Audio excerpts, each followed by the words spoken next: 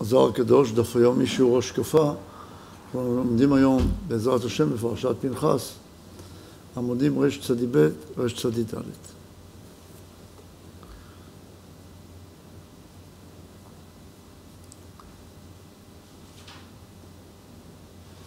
ראינו שמאחר שחרב בית המקדש נתבטלו הקורבנות. ולמדנו שאסור להפריד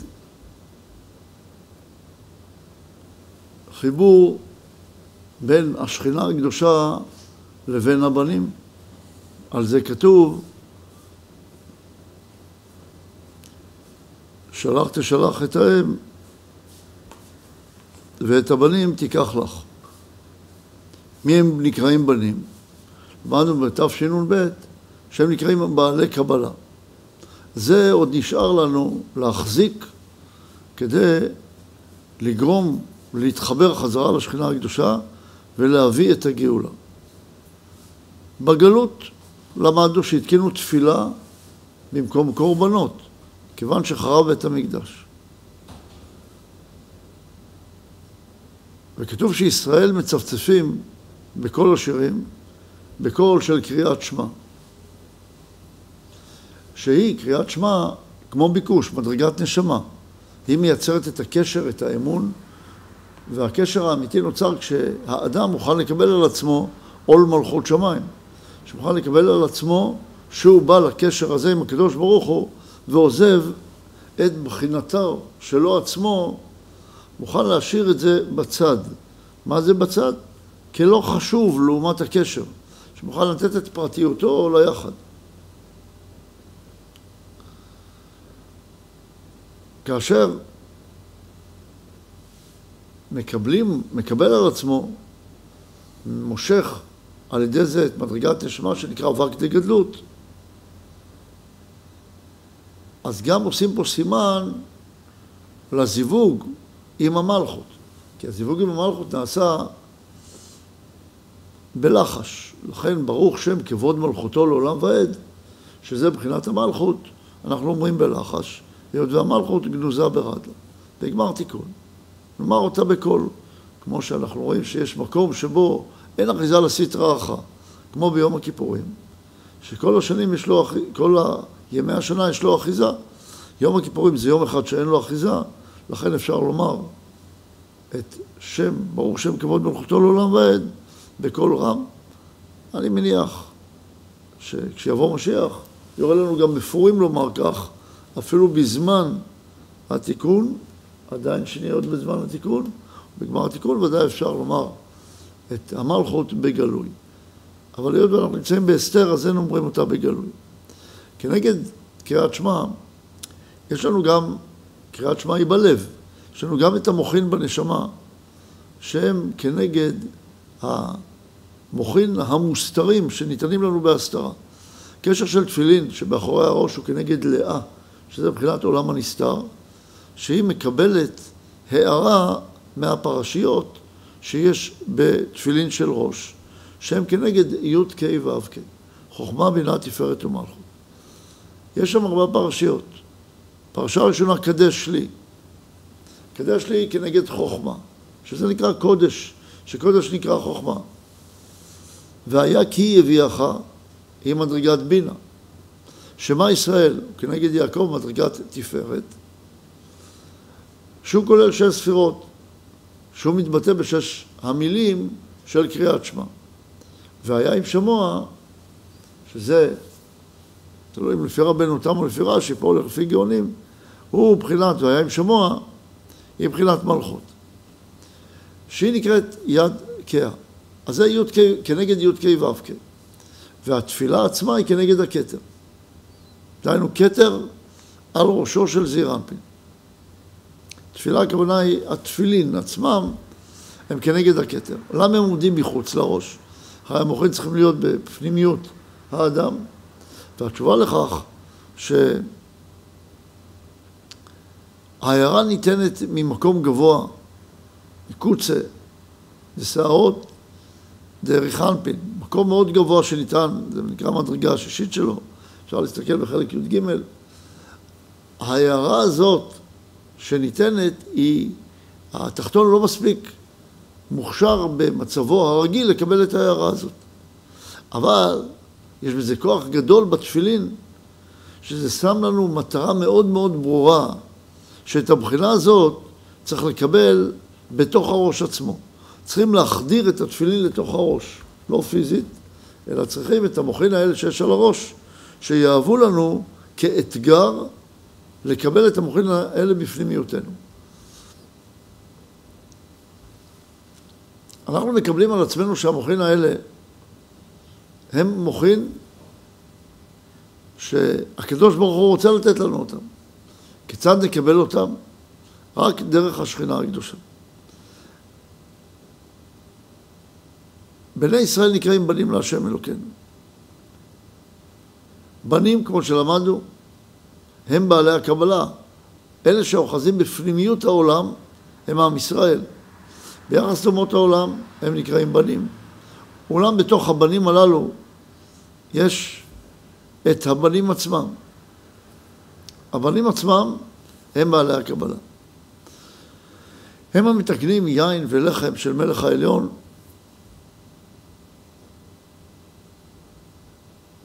והיין והלחם נאמר בהם את קורבני לחמי לישי. למה? אומר כן להקריב.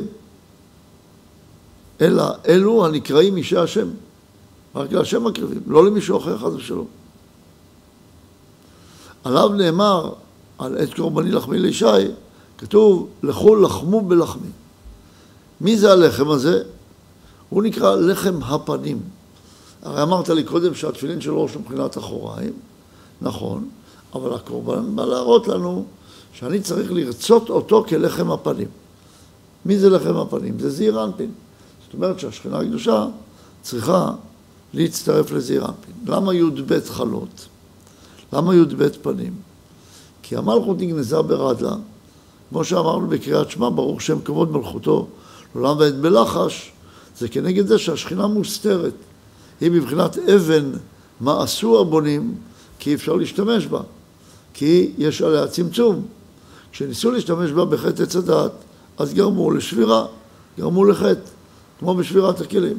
לכן לא משתמשים בעץ הדעת, אלא בעץ חיים. ועץ חיים זה מבחינת זעיר אנפין, שזעיר אנפין הוא מבחינת חסד, גבורה ותפארת. אמנם בלי מלכות אי אפשר לשמש, כי מלכות זה הכלי בעולמות. אלא שמלכות עלתה לתפארת, כמו הרגל הרביעית של הכיסא, והיא משמשת שם בתפארת. אז יש ג' פנים, שכל אחד יש בו שם הוויה. אבל הוויה לא שלמה, אלא רק כנגד ג' קווים. כי מלכות נגנזה ברדלה.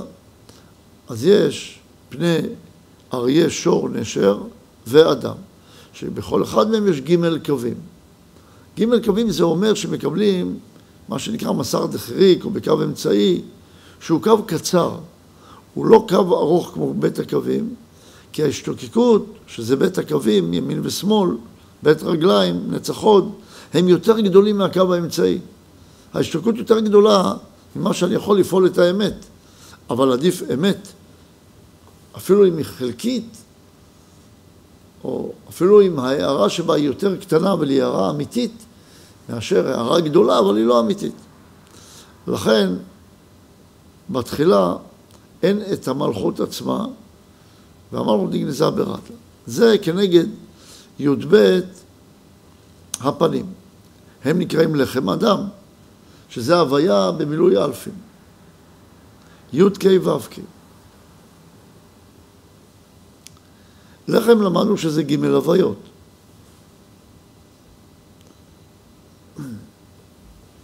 הכבשן שבו אופים את הלחם, שהוא כמו גמר הפעולה של ההוויות שהן הלחם, הוא נמצא בתנור, בכבשן. למה צריך כבשן? כמו שבני ישראל,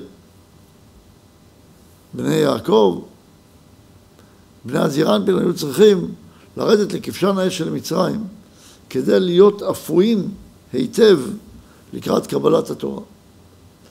האפייה היא מחברת ומאפשרת לאדם לקבל את המוחין הללו. כפי שכתוב בהר סיני, והר סיני עשן כולו, מפני אשר ירד עליו השם באש, והיה על עשנו כעשן הכבשן. כעשן הכבשן. למה ככבשן? בו הקדוש ברוך הוא כובש רחמיו לעמו. כשמתפללים ומבקשים בקשות. איזה בקשות מבקשים? בקשה ליחד. כמו שלמדנו בקריאת שמע, שמעלים מן, מעלים ביקוש כדי לבוא ליחד. כן, יכבשו רחמך את כעסיך. למה שיהיה כעס?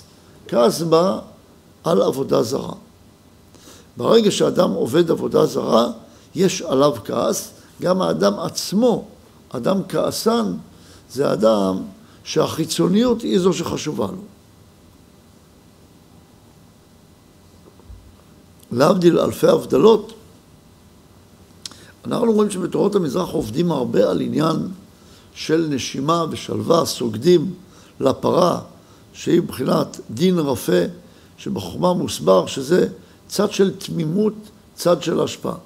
כמובן שצד הקבלה הוא חשוב לעם היהודי, ולא עובדים רק עם השפעה, אלא גם עם קבלה, גם עם אכילה, גם עם שתייה, גם עם, אה, גם עם הולדה. כל הבחינות הללו מבחינות חשובות, אבל צריך, צריך להגיד להם קודם כל ביטול עבודה זרה. כשביטלתי את עבודה זרה צריך גם את יצחק שהוא קו שמאל. אבל קודם כל אברהם כנגד פסח, כנגד ביטול הכעס, כנגד ביטול עבודה זרה. אז אנחנו מבקשים מהשם שהוציא אותנו ממצרים מעבודה זרה, שיכבשו רחמך את כעסיך, תכניס אותנו לכבשן הזה, תאפה אותנו כלחם, שיהיה מאכל אמיתי. ואנחנו מבקשים מהקדוש ברוך הוא בקשה, תצרף אותנו לשכינה הקדושה שמצורפת אליך. ואז כאשר זו הבקשה שלנו, אז אנחנו נקראים בני מלכים.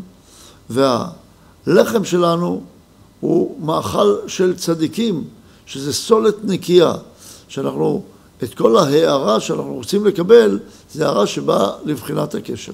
יש גם הערה שנקראת לחמה של תורה שהוא פסולת, שנותנים לעבדים ושפחות של בית המלך, אלה שמשמשים לאמצעים ולא למטרה. לסוסים, פרשים של בית המלך. זה שנאמר במלכה ותקום בעוד לילה ותיתן טרף לביתה וחוק לנערותיה. שהם בעלי משנה.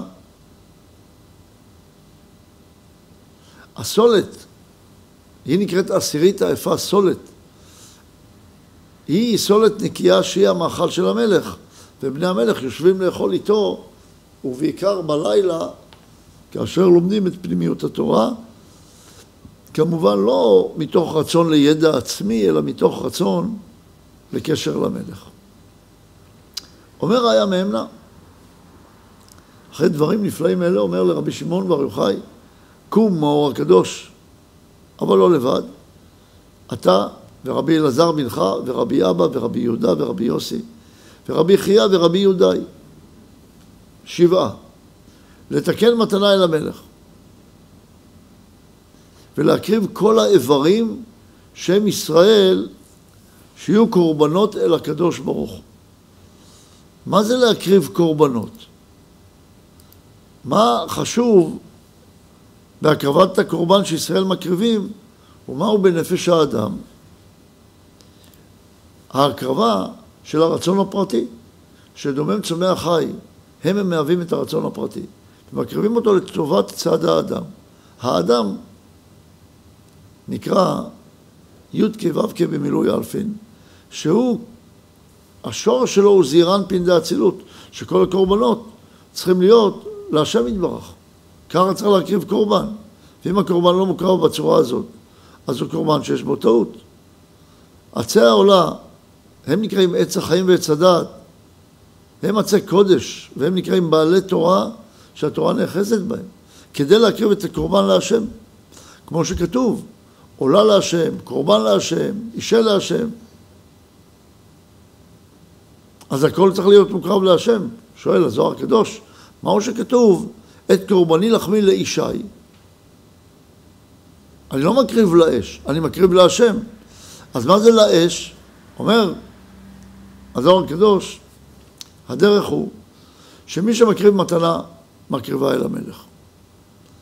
והמלך מחלק למי שהוא רוצה. כך ישראל, לומדים תורה, בן אדם לא לומד תורה בשביל עצמו. לא יכולה להיות לו טענה, הקדוש ברוך הוא, אני למדתי תורה, למה לא נתת לי שכר? אומר לו, אתה למדת תורה בשבילך? אתה לומד תורה בשביל לקבל שכר?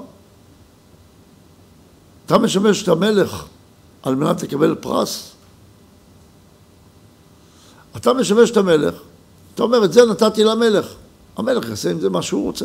זה שלו, זה לא שלי. כמו שבן אדם מעמיד משקה לכלל, מראה, אני רוצה לקבל, מי, יכול להיות שלך בכלל לא ייתנו, זה לא שלך.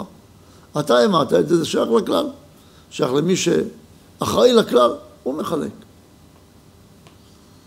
כך ישראל מקריבים את התורה שהיא המלכות אל הקדוש ברוך הוא, שהיא לחמו, והיא עינו והיא בשר שלו.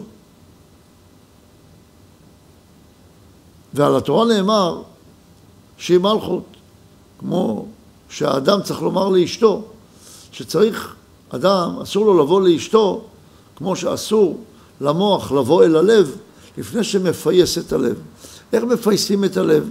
צריכים לרכך את הלב לפני שנותנים לו תובנה. שאסור לתת ללב, יש עניין שאסור לו לאדם לבוא אל אשתו עד שיפייסנה. אחרת זה נקרא אונס וזה דבר שהוא אסור. איך לומדים את זה באדם אחד? כאשר אדם רוצה להוריד את תובנה, משהו שהוא מבין בשכל, הוא רוצה להוריד אותו ללב, אז הוא צריך לפייס את הלב. איך מפייסים את הלב? אומר רבי שמעון בר יוחאי, שאדם כשבא לאשתו, צריך לומר לה, את עצם מעצמיי ובשר מבשרי. אומר, לזאת תקרא אישה. מה זה לזאת תקרא אישה? אומר, זאת, זה נקרא השכינה הקדושה. אומר, את חלק ממני. את כמו עצם מעצמיי ובשר מבשרי. אנחנו דבר אחד, וזה מה שהלב של כל אדם רוצה לשמוע, שהוא חלק מהמוחין. כי הגוף הוא התפשטות של הנשמה. הוא רוצה לשמוע שהנשמה אומרת ללב, אתה חלק ממני. אתה דבר אחד. אני תמיד, המוח תמיד צריך לדאוג ללב. אבל ברגע שהמוח מתחיל לפנטז, לחשוב, כל מיני מחשבות שלא קשורות לאדם. הוא רוצה דבר שהוא לא שלו. הוא רוצה אישה אחרת. כשהנשמה, המחשבה, הולכת לאישה אחרת, זה הופך להיות כמו עבודה זרה. הוא צריך להיות קשור ללב שלו עצמו, להיות מי שהוא בעבודת השם.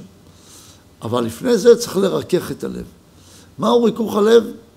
לתת, האדם צריך לתת, להיות בהרגשה כזו שהוא אדם אותנטי, אדם שלם, אדם שלא מזייף, לא מנסה לשחק משחק עם אני שהוא לא הוא.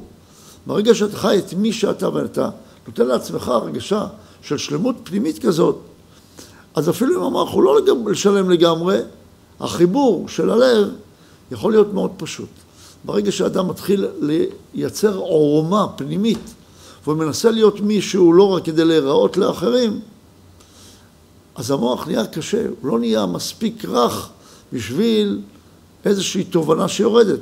באה תובנה אמיתית לרדת, הוא מרגיש שהלב לא שם. האישה שלו עצמו בתוכו לא שם.